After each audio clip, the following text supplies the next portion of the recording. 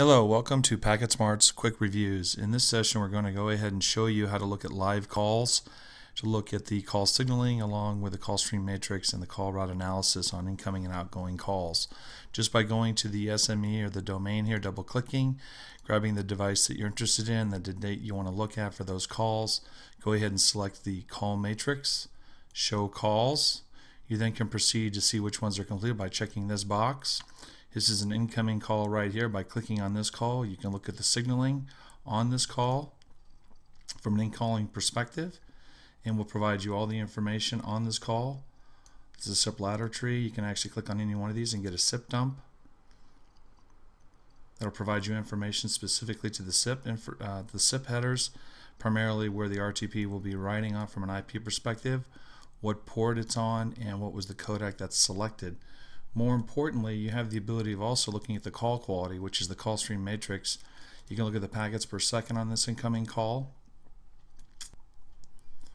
As this pulls up, we'll show this in two streams. Red and blue represent a direction. If you need to look at the direction this on this particular stream, all you need to do is highlight this stream by either opening a rectangular box like this on the stream, or if you like, you can actually hit the right key button and open up and do a zoom in, a zoom out, or an auto range. But once you've opened this up, you can go ahead and click on one of these colored streams, scroll down to show stream information, and it provides you the IP address of where that stream is headed, the port it's on, the codec that's there, and whether we've detected QoS on that stream. In this example, the blue stream is the incoming stream. There is no QoS. Click on the red stream here, show stream here. You'll notice it's a different IP address going as an outbound path to a different port, same codec, and there is QoS. Also, if you look at the call route analysis, you can take a look specifically at the hops on this particular call. It's an incoming call, so we can actually go in here and see that we've got different hops here going in. There's no route flaps, and we can look at any one of the latencies for the maximum here and actually get an indication of when that latency is occurring. If you want to, here's another example of an outbound call. Call signaling is a little bit more information here on the originating caller. Whereas when you click on the invite here, you will actually get the information specific to the user type of phone, user agent, and the firmware that's loaded on that phone. You need to go to the call matrix. You can go to the packets per second, and you actually get the variation in here, right this. Open this up, click on the stream here, and you can actually provide the same information. This is the direction of that stream.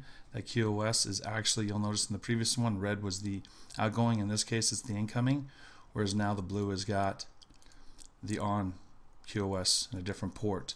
We can also look at the route analysis on this call. And you'll see it's a different direction here. And here we have the same amount of hops. And we can click on any one of these to get the actual information specific to that particular call. You also have the ability of filtering on a specific individual if you want to. You can filter on and just see all the calls there that are going to Don, or if you wanted to, you could see all the calls to Babu. And click here, and that would be the only call. And that's how quickly you can go through and look at individual calls within the actual uh, call matrix tab here and find out what's happening on these calls in real time. Thank you for your time.